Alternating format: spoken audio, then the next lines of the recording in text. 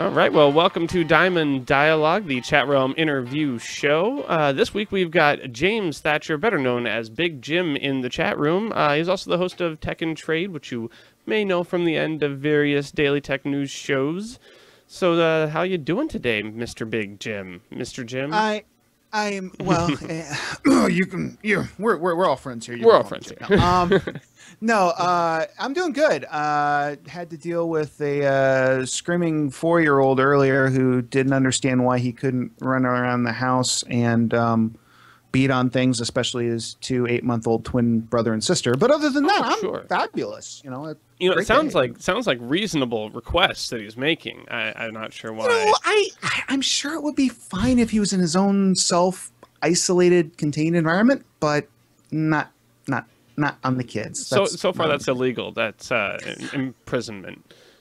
um, it's at least uh, larceny of some type or another. I'm sure. Oh, that's awesome. So I, I'm pretty sure aggravated you've assault. right. I- I'm pretty sure you you've mentioned this before. But uh, what are the origins of your chat handle? Uh, okay, so when many, many moon ago, uh, I was on the internet under another character name. It was called Animated, and with the at symbol because I thought I'd be cute and cursive writing. and uh, so I did that for a while, and then I realized I needed to be a grown up. I got married, and I needed to start being a grown up and I needed a new chat handle. And in all honesty, I hadn't been on chat really that much anyway, so it wasn't a big deal. And I fell back into Twit, which was interesting because I had been completely off of IRC radar for the most part for a long time and off of um, podcasting in general for a long time.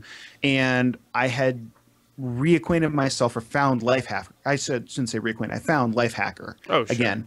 And so Gina Trapani had posted on there, "Hey, I'm going to be on this week in Google." Blah blah blah blah blah blah blah. I'm like, "Oh, well, that's cool. I, I'll tune in and watch." And then I saw Leo Laporte, and I'm like, "Wait a minute, I remember that guy." Yeah, So that guy from ZDTV. and then they said, and then they said, "Oh, and by the way, we have a chat room." And. I'm like, "Okay, cool." So I went in, and the first couple times I went in, I went in as guest one seven whatever. yeah, came up with. right. And so I'm like, this is no good. And at the time, I was working um, here in Dayton, Ohio. I was working on site uh, for one of our clients, and it's in an automotive plant. And they, um, some guy said, "Oh, here comes Slim Jim," and he's like, "That's not Slim Jim, that's Big Jim." And I'm like, "Bingo, there's the chat handle. There you go. that's It's what a- I need." it's an easy short So- name to say and remember. and- It's simplistic, and I can be somewhat anonymous if I need to, Yeah. because there's a lot of big Jims out there. So Exactly. works for me. Definitely. No, that that's pretty awesome. So you're you're into technology, obviously, like the rest of us Yes. are, as as you mentioned from from watching this week in Google. But uh, what what's your favorite non-tech thing to do? I'm sure you get out there and Oh, do something. Jeez. Yeah. Um. Wow. Non-tech. Uh, if we're going geek route, um, probably the one thing that I will listen to and listen to. I, I started listening to it again. Was um, Major Spoilers podcast network over at majorspoilers.com. If you're not familiar with them, go over there, check it out. Great network. Um, they do mainly comic books, and so I started listening to Critical Hit, which is their Dungeons and Dragons podcast. Mm. And I said, okay, cool. You know, I, I had played D&D in college, but I kind of fallen out with it. I'm like, you know what? I, I really just want to listen to something for a while. So I turned it on. I was listening. Oh, that's kind of cool.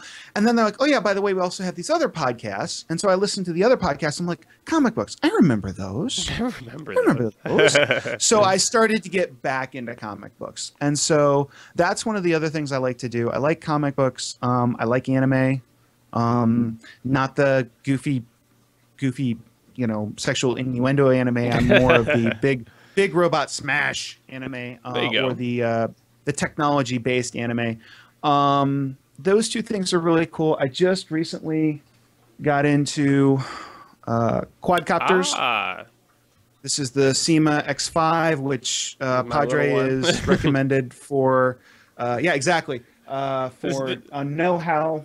Yeah. This is just the Hubsan X4 that Darren always recommends. Oh, and Lay, Lay there's my my screen freeze of the show. So That's a Hey, good- well, hey, good it's gonna freeze, it's gonna freeze on uh, on a drone, and there's Yeah. nothing wrong with that. No, no, I can't complain about that. So.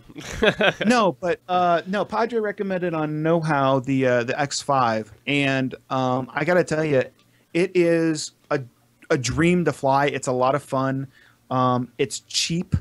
Uh, it's got a camera on it. The camera's not great, but it's fun to play with the camera on it. It's got a two megapixel camera on it, which can do video, Oh, nice. which is kind of fun. So I kind of, it kind of feels like I'm getting something out of it, um, except for when I stick it in trees, which happens a lot. Yeah. so, but that's why it's cheap. So you know, I'm not paying five thousand dollars for a, a grandiose quadcopter. oh, exactly. Well, then that's why I have the the little cheap one that I have because it's I'm, I'm gonna break it a few times. you know. my next my next my next big uh, dream is to figure out a way and i'm sure somebody's already done this so don't don't berate me guys I, i'm sure somebody's done this is to get a quadcopter with a wi-fi lte hookup so i can just like have it hover sit and put it into a hover like over a conference or something and have everybody have like decent wi-fi connection or mesh network kind of connection to each other via the via the drone just because you can Yeah. So that's kind of like, an indoor Project Loon. yeah, exactly, uh, exactly. Uh, the the downside is right now is the batteries that I've been playing with. They're only good for 20 minutes, so it really wouldn't be that great of an experience right now. No, But at that I'm rate, sure- you might as well just hang up, you know, get up on a ladder and hang a repeater on the ceiling for uh, for for network. Exactly. You know, that's Exactly, but you know what are you going to do? So, um, other than that, I am hugely, um, I guess tech wise, I'm hugely into Android. I am. I, I am I am a I am not a Google apologist, but I love me some Google uh, Android software, and uh, in fact, I'm researching uh, a new phone right now, uh, which is terribly fun. So that's uh, one of the things that um, I'm really kind of passionate about.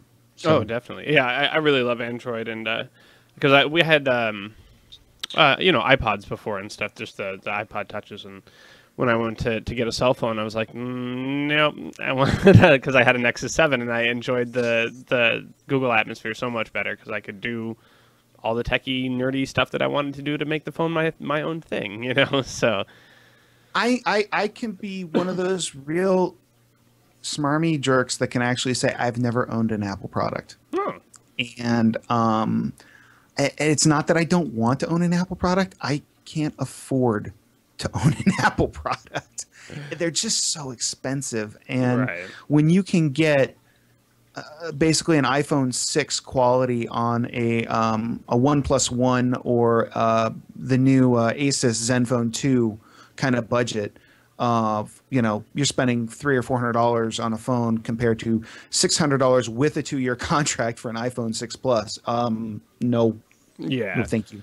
I mean, the, the, not all their stuff is, is overpriced. Phones definitely, um, but as far as like you know the uh, Well, laptop, I love. Oh yeah, the watches screw them. Yeah, I, I have a Pebble. I, yeah, I was gonna say I'd show you what I have, but yeah, There's my my Moto 360, which See? uh, I have a yo from you on. So. yeah, right. I I, uh, I can't do one day of battery life, so you know that's why that's why I'm Pebble. But You know, I, I, I, found a way on the Moto 360 where I'm getting about a day and a half to almost two days now.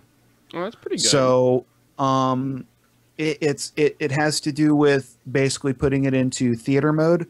So it only turns on when you push the button, which is fine because I don't want it to be on anyway when I'm not really looking for a time. right. Uh, it comes on when it pushes the button, and then th- it, it minimizes the battery down. I think I went to bed last night. I put it on the charger just so it was charged. I had like 52% left. Nice. so, you know, and I and it's not like I went to oh old man James he went to bed at like you know eight o'clock. Last, no, I went to bed at like midnight last night, and I still had like a 52% charge. oh yeah. So, um, no, I, I think I think I've kind of found a way that it'll last about a day and a half, give Oh, or right. take. But see, I use I actually use mine as a watch. Um, except the face I have is, is one I made with uh, that reads out the the uh, temperature and stuff uh, uh, of your current location as well. So, but but the part that I enjoy is that I do use it as a watch because every you know hour or two I'll look down and go, oh, you know, it's currently mm-hmm. 39 degrees. It's freaking cold here in Wisconsin, you know. And so, I use it. I I'll be honest. I use this thing. The biggest thing that I use this for is texting. In honesty, and that sounds so ridiculous and so stupid, but when you get to the point where you can look down and you can swipe over, click reply and say blah blah blah blah blah blah blah, and it comes up almost all the time. I'd say this thing, uh, Google, you know, the Google voice capture now is probably ninety percent accurate. Oh, when it's ninety percent accurate, that's good enough. I mean, Oh, for yeah. me, that's good enough that if I don't have to pull the phone out, unlock the phone, put the stupid code in, and then sit there and try and swipe or type with my thumbs, you know, I'm perfectly happy with it. So Oh yeah, well that's I'm I'm excited about the Pebble Time for that too because you have the uh, the microphone on it. It does kill the water uh, proofness. It turns it into water resistant, but you know not many people go diving with their watch. So I was gonna say, I, I know that there are some places, but I don't know of that many deep scuba diving places near you. So Yeah, no. I mean, maybe there are, but no, not I'm, this time of year. Yeah. So, um, going going back to, to some questions for you. Uh, I'm you're a, Okay. you're a Twitterer. I see as your by your Twitter handle. Um. What is the best fit Twitter account that you follow, in your opinion? Um. Oh wait, are we talking for entertainment value? Are we talking for uh, personal value? Are we talking for tech value? Um, or are we talking overall, work? probably just overall entertainment value. Um, it's gonna sound crazy, um, but I'm going back to here's the call back to major spoilers. Uh, there's a guy on Major Spoilers whose name is Matthew Peterson, uh, who is an excellent, uh, excellent podcaster. He's very funny, uh, very witty. Um, at Mighty King Cobra, and he will occasionally just come up with some real zingers that are just hilarious and then occasionally he'll just do his top like top 10 of something or other so top 10 comic book heroes that you've never heard of that you should have back in the 80s and Huh. he'll go through and he'll do a tweet of 10 to 1 and it's really really good Interesting. Um, I, I really enjoy that one. And then I guess the other one that I I follow. I mean, if I, if I do a fun one, I have to kind of say a work one. So if I'm going to say a work one, uh, I would probably I would probably say for trade related stuff. Um, and I'm gonna have to pull it up because I don't remember his handle. I remember his name. I don't remember his handle. Uh, it would probably be Doug Jacobson uh, at uh, uh, what is his trade trade law news uh, at trade law news. Uh, he covers a lot of great stuff that's going on in the trade for us at least that is really interesting uh, from a trade perspective. Um, he as well as there's a couple other companies out there that kind of that they're very good at what they do but I, I really like doug's take on stuff. Um, i think he he brings some very interesting uh, points of view to articles so i, I dig him. Um, and then otherwise you know you got jenny who just is hilarious. She posts all kinds of crazy stuff yeah, no, I love Jenny's stuff on there. Well, and especially if you you've been have you been listening to uh, Tell It Anyway? Her Yes. podcast? It's yeah, her stuff Oh from that is great. I have to, I, I at some point I have to beg her to be on that show. I really do. I it's one of the shows that I really really love following. Um, is Tell It Anyway. So yeah. Yeah, that's it. Well, and I can see why why she married. Well, one why her husband is a writer and why she married him because he's an excellent storyteller.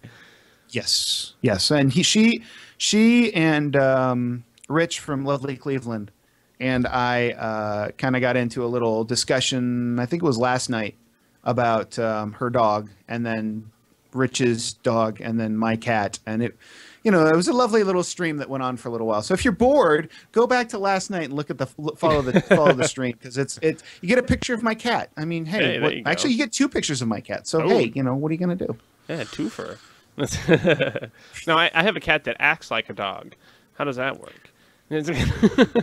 she she seriously plays fetch, and she likes human oh, food. okay. Well, that's okay. Fetch is one thing. Okay, I was gonna say if- she's like scratching on the door and asking you to take her for walks, that there's a psychosis problem there. no, But, not uh, asking for walks, but she can't stand a closed door. She will scratch. She will paw at the door uh, if you close it, especially if you're in there.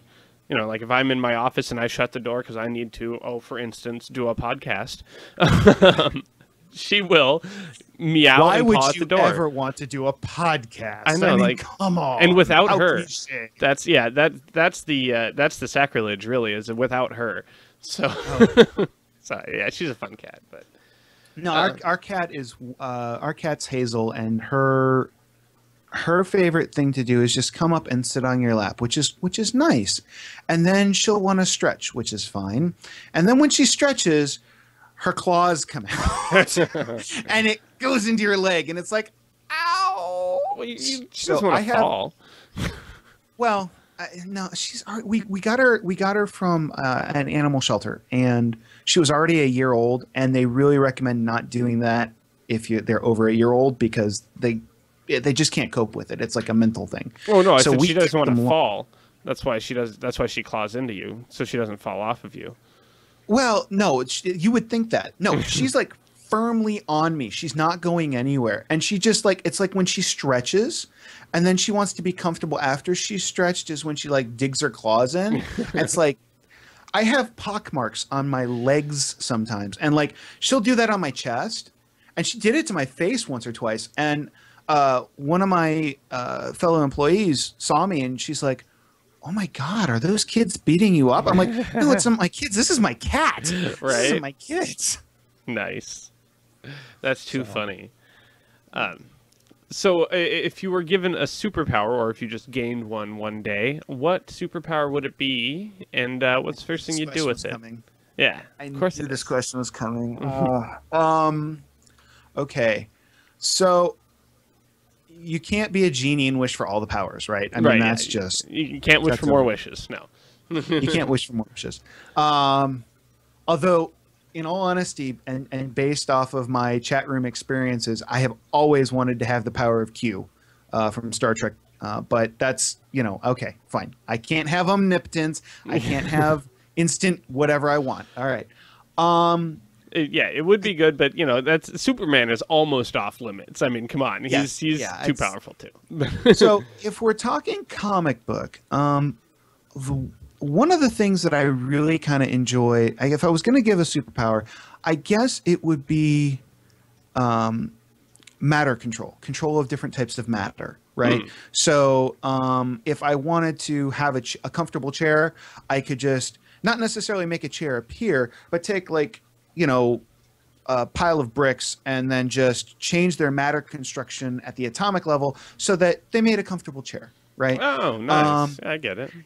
Um, you know, and, and if you think about it, if you had that power, you could you could theoretically fly because you're controlling matter, you're controlling sound pressure and things like that because you're controlling that kind of thing. Could you have time travel? I- Uh, probably if you really thought about it and you figured it out, but that's not Mm. really. I, I just want to be able to control the power of uh, changing things from one kind of solid to another. Um, either that or have the capability of uh, multi-presence. So I could be here, I could be uh, up next to you. If I needed to be in an office somewhere, I could just be there, but not really be there. Uh, so people would leave me alone. Uh, So your other know- self could go play video games. So yeah, I, I got comic books to read. I don't have time for you know. Uh, I got Hearthstone to play, man. I don't have time for you know doing work. right. Uh, please, please, boss, don't fire me. Um, so- no, it's it's that's more more my uh, more my bag is is um, basically I think I think the matter control would be the best the best present you could give me. And then what would I do with it if I could fly, if I could use it to fly and do whatever I wanted to? I would travel. I would totally travel. I would go and see uh, I'd go to Asia and hang out in Japan. I'd go to China, and I mean, I can do that now, but I have to pay for it, right? I don't want to pay for it. I'm- I'm, cheap. right. You know, I'd like to be able to pick up uh, a couple pebbles and uh, change their matter so that they turn into currency and just hand it to somebody, and then I never have to worry about money again, right? Right. Exactly. Um, you never have to. I mean, you have to buy land. Okay, great. I have to buy land, so I own land, but I don't have to. You know, build a house that I don't like. I could build a house that I wanted to, and anytime I wanted to change, I don't like the look of this room. It's changed. You know, I don't have to think about it anymore. Um, so yeah, matter control. That would be probably. That's about as close to Superman as as as you could probably get. right. so uh, along the same veins, and you're familiar with comic book uh, uh, planets and stuff, and real planets too, but those are less interesting. Um, but if you could move to any planet, real or fictional, uh, what what would be, and uh, what would you what would your house be like? What would you live in? You know, speaking of houses.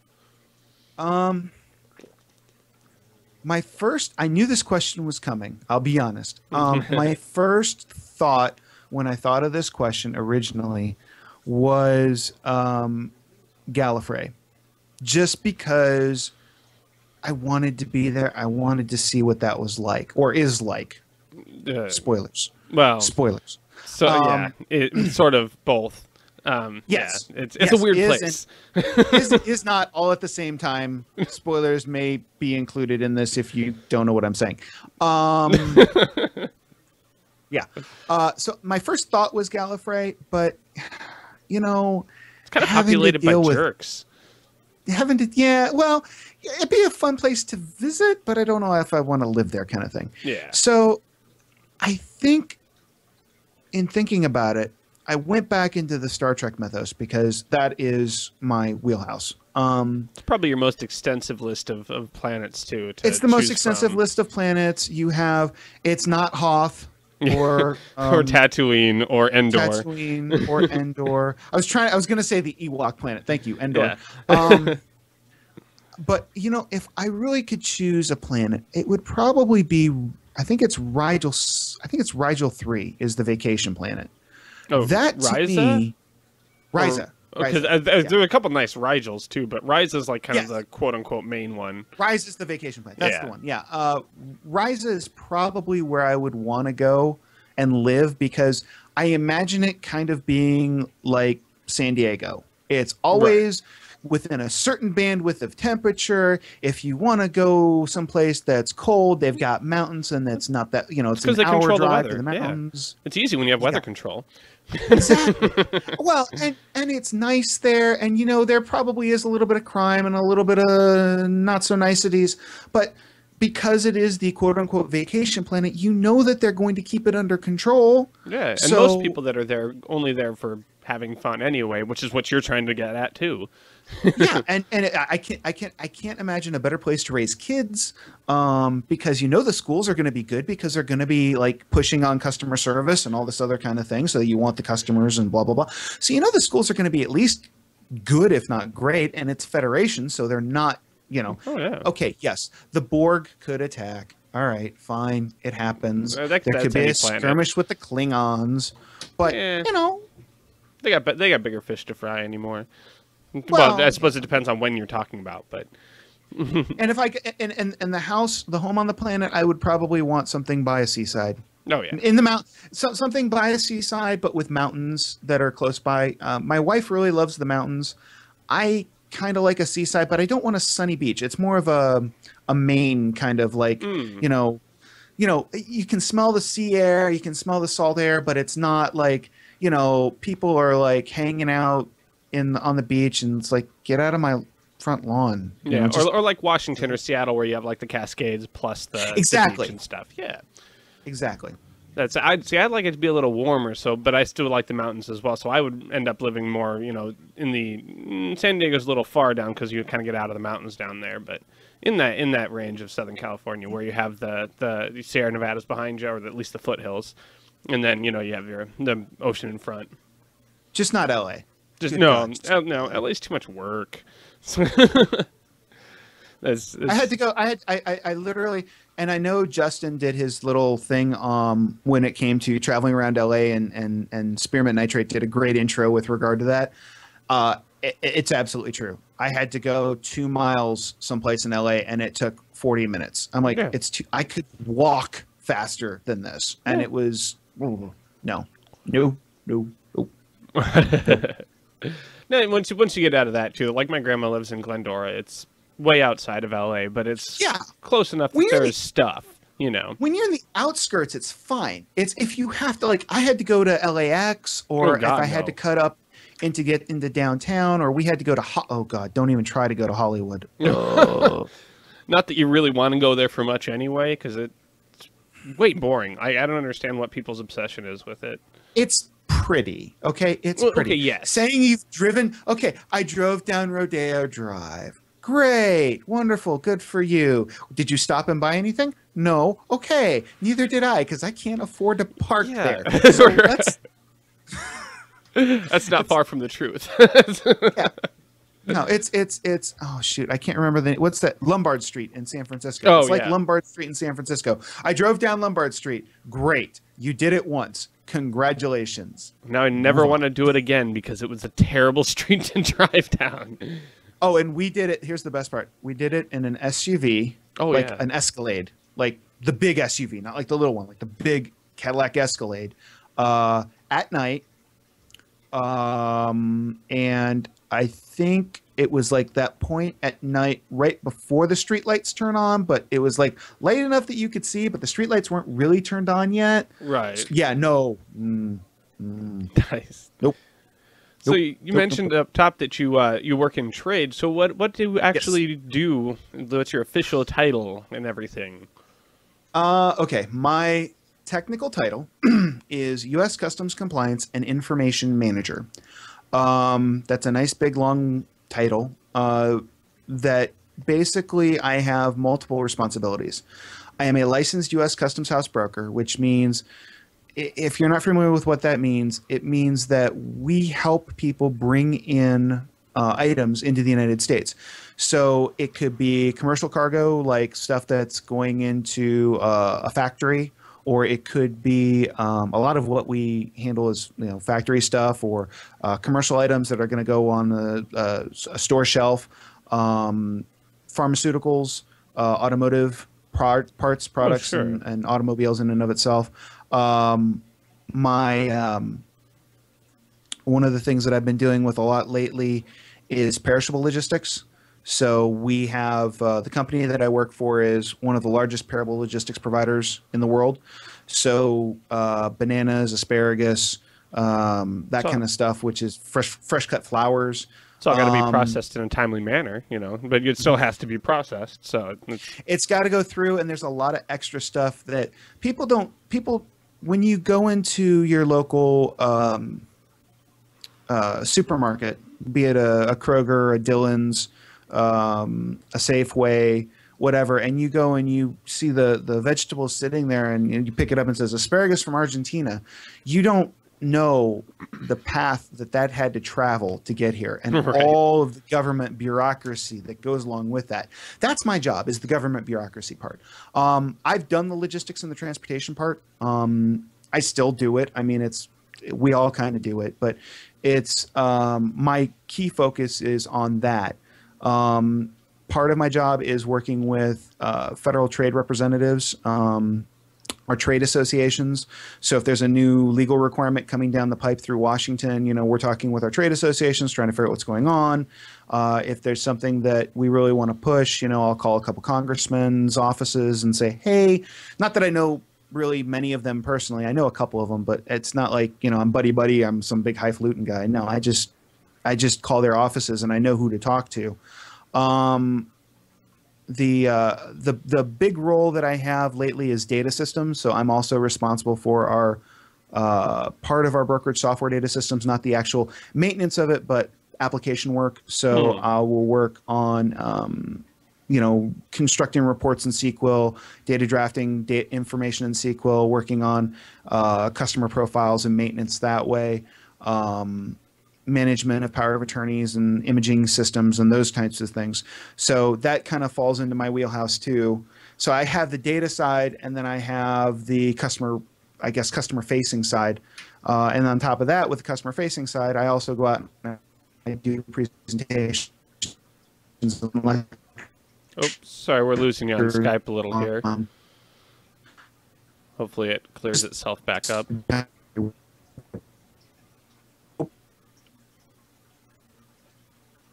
Oh, did we lose you? Maybe. Can you hear me? Oh, there we go. It's I'm here. back. I can hear you. Can you hear me? Yeah, you're just a little behind me, probably. Uh oh. Oh, and now I look like wonderful. Yeah, we'll give it give it a second. It'll catch itself back up. Any better? Can you hear me now? Yeah, you're coming through. You're just a little bit crunchy, but it should. We'll fix should it in clean post. Yeah, it should clean itself up. Yeah, I'm gonna say I'm telling it to keep the video on. So Yeah. wow, I am slow too. That reaction time is bad. yeah, you're right. It's coming back. Can you hear me at all? I mean, is the audio coming through okay? Yep, I Is sure the audio can. coming through okay? Yep, you're good. Okay. So um, the other thing that I do is um, the other thing that I do is go out and I I put on seminars and presentations on um, you know what are the proper ways to bring things into the United States. Um, rules and regulations what what are these crazy things called you know with anti-dumping and countervailing duties and things of that nature so um, those are a couple of the things that i handle and i try and help others out with Oh, that's awesome. So I'm sure you have some some good stories, at least from from dealing with with some of this stuff. So what, what's one of your more interesting or funny stories from from your job? Uh, um, interesting and or funny. Um, we. Wow. I'm trying to think of something that would actually be funny for everybody rather than just inside baseball goofiness. um, okay, we had uh, a customer recently um, who is a zoological park who is bringing in a specific type of um, animal. Hmm. And uh, I guess that would be one of the more interesting things that we've brought in. And all the requirements that go into importing live animals um, and how for something this was um, a marine animal so it was really it was a small marine animal um, but for something so small you know the five or six different government agencies you have to go through to bring it in. It Oh, has to be inspected the veterinary certificates everything else that goes along with it.